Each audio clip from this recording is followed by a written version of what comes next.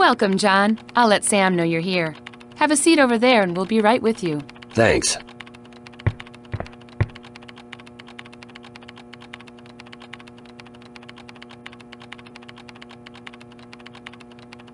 This is my last chance. If I don't pass this time, I'll be working a desk job for the rest of my life. Don't worry about it. You'll make it. I have to. My wife will kill me if I don't get that promotion. Your wife's a lot scarier than the confidence course is. What was that? What did you say? Nothing. Relax, man. You'll be fine. They're ready for you, John. Right this way.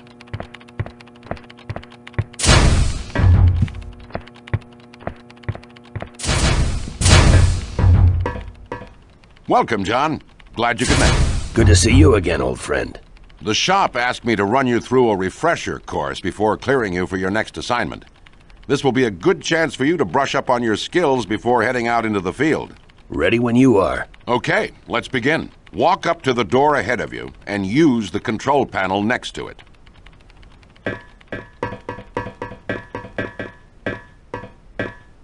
That's right. The use key will work on most locks, keypads, switches, and the like.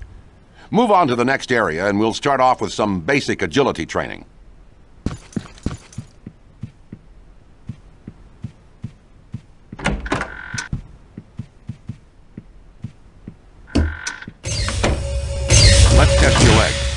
Jump over the obstacles in front of you. Very good. Now this next jumping exercise is a bit more complicated. You need to jump up and then crouch to give yourself an extra boost to get over the wall.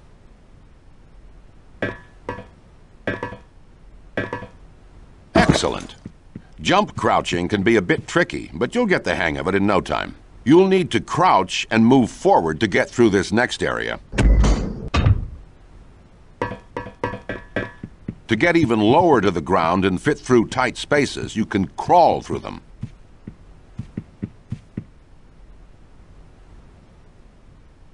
Nicely done. Jump into the pool here and swim underwater to the next area. Excellent. It's as easy as walking or running, isn't it? Good news, you've passed the first part of the test. So let's move on to weapons training.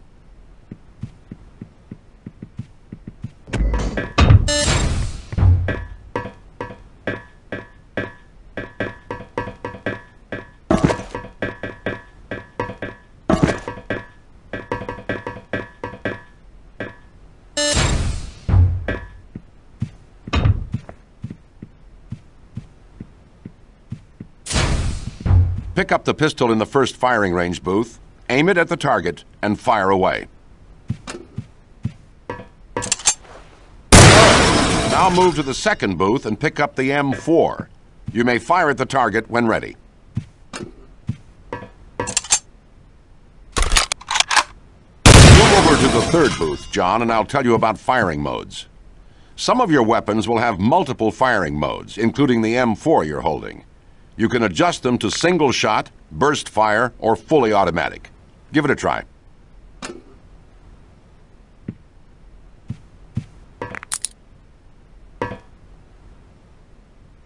Very good. Some weapons also have an alternate fire. Your M4, for example, has a grenade launcher mounted to it. Give it a shot. Just be careful where you point that thing. Those grenades can be just as deadly to you as they are to the enemy. Firing modes and alt fires vary from weapon to weapon, but you can figure that out as you go. Let's move on, shall we?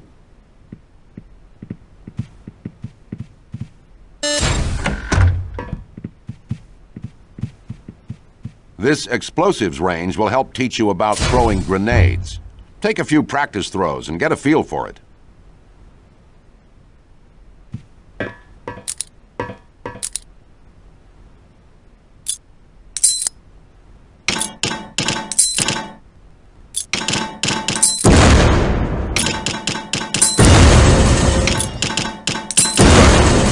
Once again, you need to be very careful with your weapons.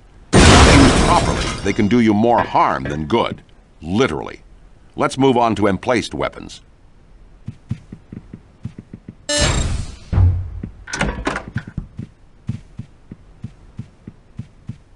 Walk up to that M60 and use it. Notice how you slide in and take control of the weapon? You may find these babies mounted in the field or on attack helicopters. Get familiar with them, and they can be your best friend.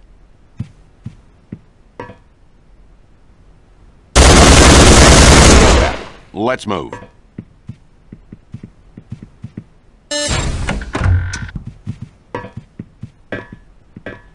If you run out of ammo, or if you're trapped in close quarters, you may need to engage the enemy hand to hand. In these cases, use your combat knife or the bayonet mounted on the end of your AK 74. You may attack the enemy at your leisure. Very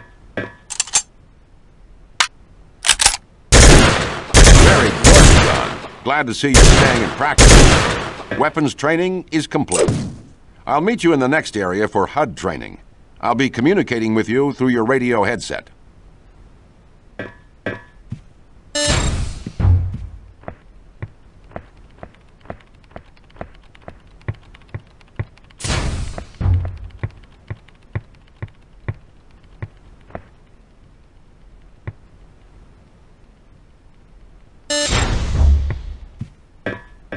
All right.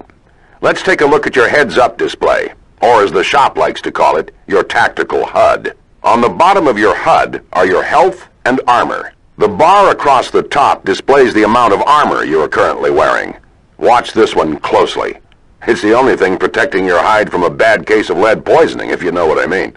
The bar below your armor meter shows your current health. When that runs out, you'll be pushing up daisies, so keep an eye on it. Your armor will generally run out before your health starts to drop. That is, unless you're hit with armor-piercing rounds or you fall for a long distance. To the left of your health and armor meter is your personal audio detection device, or PAD for short. The pad tells you how much noise is being generated in your vicinity. The more noise you make, the easier it is for enemies to find you. Keep your eye on the pad display if you're trying to be quiet. If it turns red, everyone will know exactly where you are. The lower right-hand image is your weapon inventory. Use the number keys 1 through 0 to select the specific weapons that you are carrying. Or use the next weapon and previous weapon keys to cycle through your weapon inventory. This defaults to your mouse wheel. If you're using two weapons at the same time, a second identical weapon display appears on the lower left. All right, it's time for equipment training.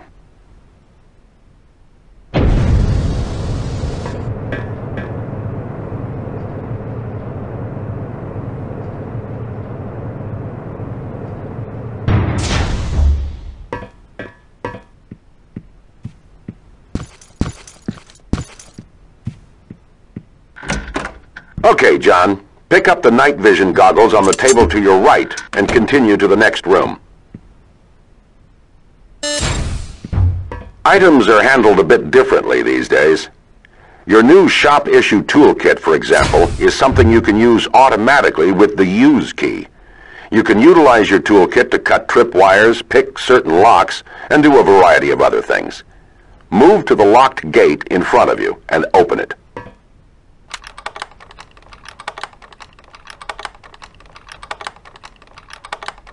Good. Notice how the toolkit icon appeared on your HUD when you got close to it? If something requires your toolkit, that icon will appear, so watch for it. Other items you'll encounter in the field include binoculars and thermal vision goggles. Activate your night vision to move through this darkened area.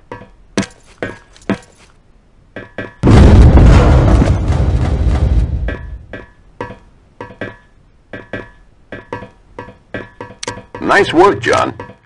Now, we're going to apply what you've learned and take on stealth training in the next area. I know it can be tempting to charge into every situation with all guns blazing, but sometimes there's something to be said for being quiet. You're going to find yourself in situations where discretion is the better part of valor, so there are a few things you need to know. Use your personal audio detection device on your HUD to keep track of how much noise you're making. It's a valuable tool and one you should use wisely. Some of your weapons make more noise than others. The knife and the SOCOM pistol with silencer are very quiet. The M4 and AK-74, by comparison, are certainly not. If you're trying to be quiet, select the best weapon for the job.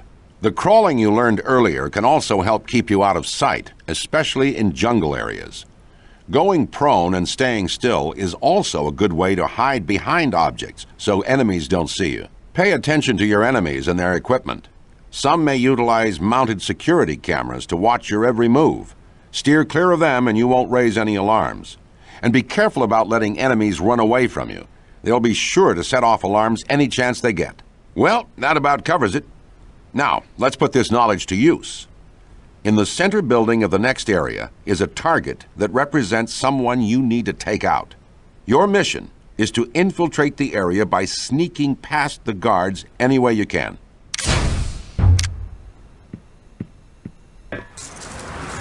Don't attack the guards patrolling here. They're actually shop employees who are helping me with training exercises. Which reminds me, don't attack civilians in the field. Innocents must be protected at all costs. If you attack them, your mission will fail. Good. Stay out of sight. You can lean around corners, which is useful to survey an area while remaining somewhat under cover. Go up to that wall and lean around the corner.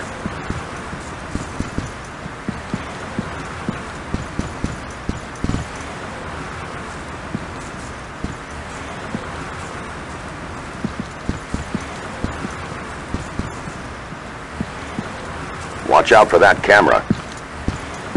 There's the building. Your mark is inside.